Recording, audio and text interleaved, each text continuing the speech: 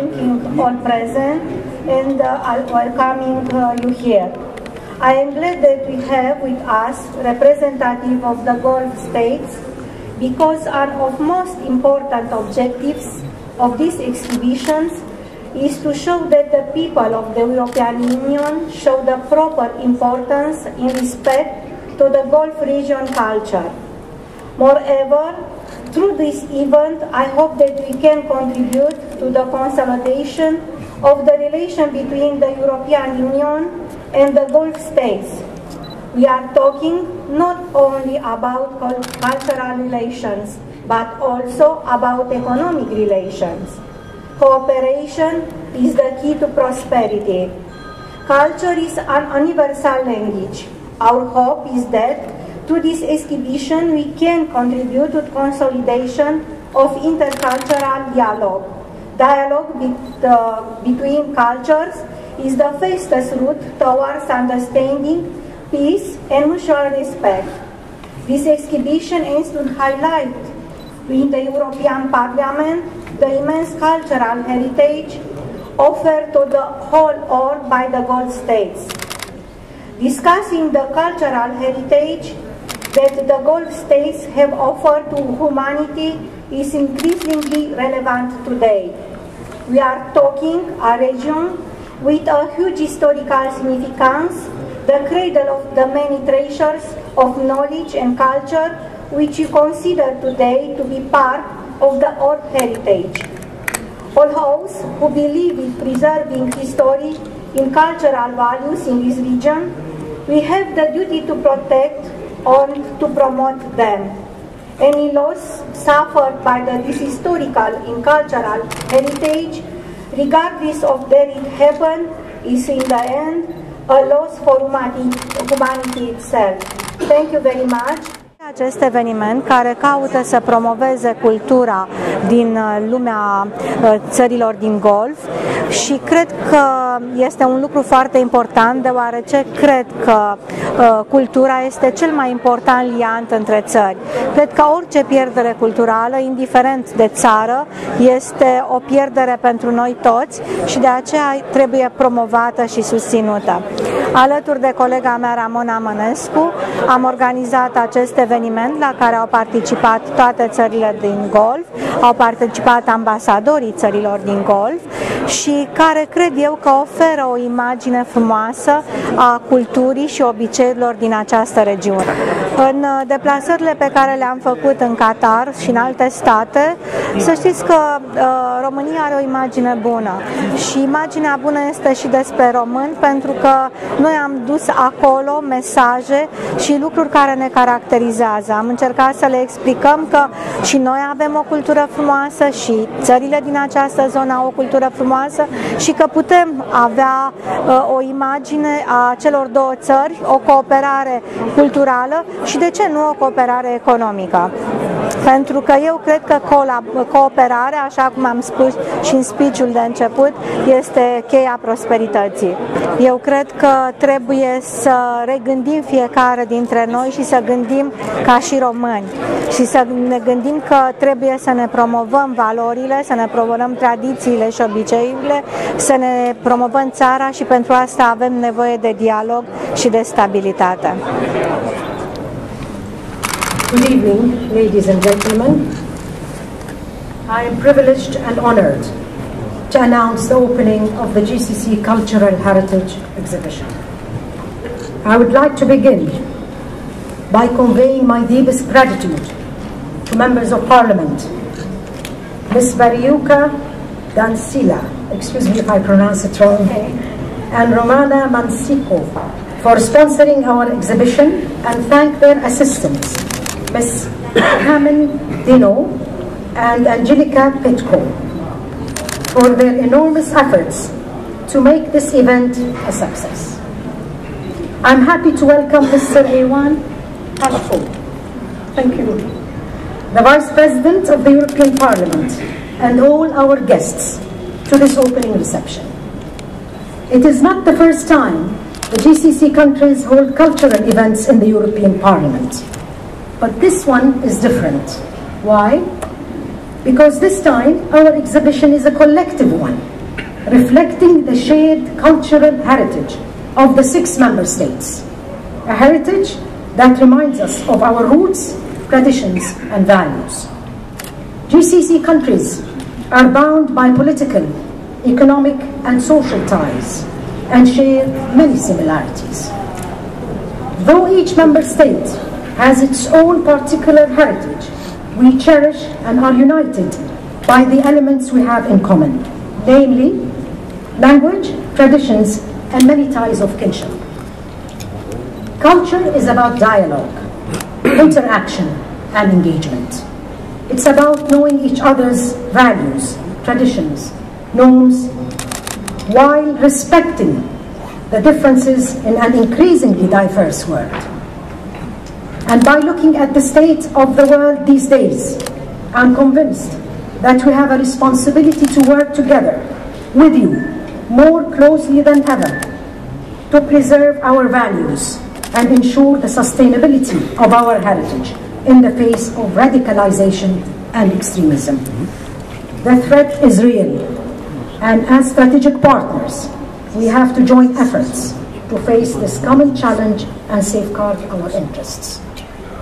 Intercultural dialogue is one tool to promote tolerance, coexistence, and human values.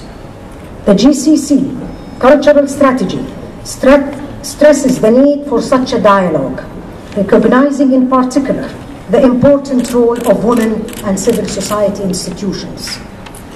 I would like to seize this opportunity to announce that the Institute of Studies for the Cooperation Council of the Arab States of the Gulf will be opening soon in KU Leuven University as a further step in building bridges between our region and promoting EU-GCC relations. Before concluding, I want to thank all the staff of the GCC delegation in Brussels and the GCC embassies for their contribution in making this event a dream to come true. Thank you very much, and I wish you a pleasant evening. Uh, very rewarding, spiritually speaking, event. And I'm uh, glad uh, two times. Uh, first, you know, because I represent the European Parliament, and I'm very glad that we could um, add another, uh, I would say, event which would demonstrate the importance of the relationship between the European Union and the Council, General Council, the Gulf Council, with your countries. You, Ambassador, have mentioned the importance of this relationship, and I cannot add anything to, to what you said. Inițiativa a aparținut colegilor mele, doamna Ramona Mănescu și Viorica Dăncilă și vedeți că deși fac parte din grupuri politice diferite, împărtășesc aceeași, aceeași apreciere pentru țările din zona Golfului. Ele au fost acolo, țin minte că am discutat cu ele și au rămas impresionate și mă bucură că, iată, astăzi au reușit să facă acest eveniment care, cum spunea și doamna ambasadoare, este pentru prima oară când toate țările din Consiliul Golfului participă la un eveniment comun.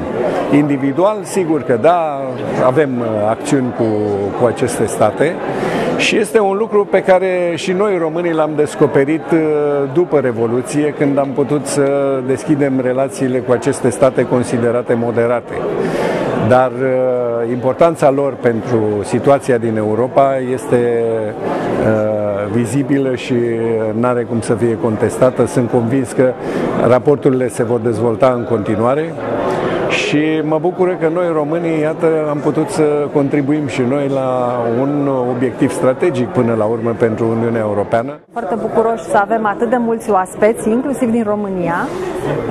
Am coorganizat acest eveniment cu colega și buna mea prietenă Viorica Dăncilă. Noi lucrăm foarte bine împreună și uh, încercăm într-adevăr să uh, sensibilizăm un pic Parlamentul European și Uniunea Europeană cu privire la oportunitățile și uh, uh, lucrurile bune care se întâmplă în alte părți ale lumii, precum uh, zona Golfului uh, Persic.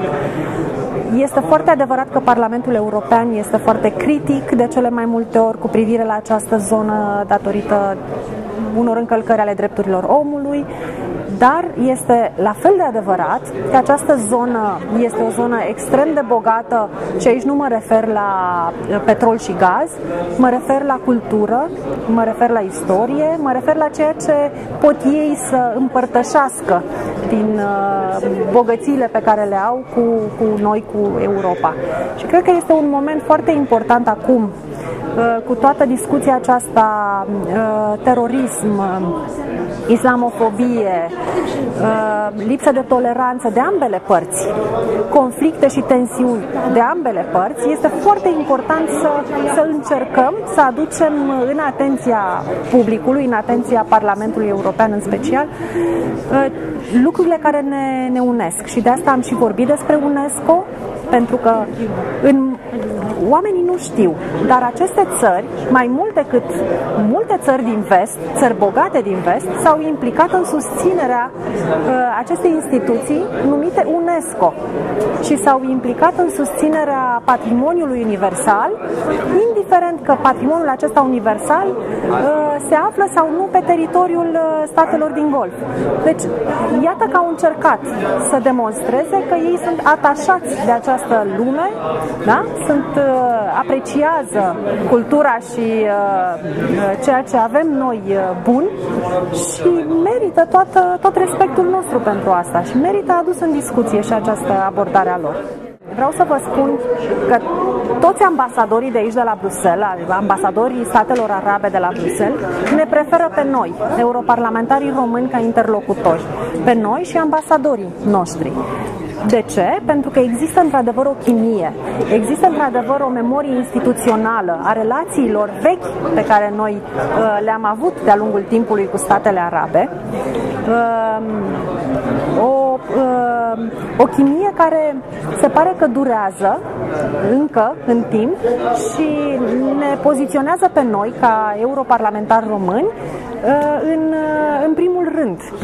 Da? Acolo unde uh, nemții nu reușesc să deschidă o ușă, acolo unde britanicii nu reușesc, acolo unde francezii nu reușesc, acolo reușim noi. Și cred că asta spune foarte multe. Discutăm cu ei nu doar subiecte economice, discutăm subiecte politice, de securitate și combaterea terorismului. Și au încredere în noi. Și cred că trebuie să ținem cont și eu zic că România, Bucureștiul, guvernul, deci autoritățile care se ocupă de politica externă de securitate, țin cont de, de acest lucru și cred că uh, este foarte bine că noi cooperăm, ne coordonăm cei de aici cu cei de acasă, pentru că într-adevăr există această afinitate și această ușurință a noastră de a discuta cu ei.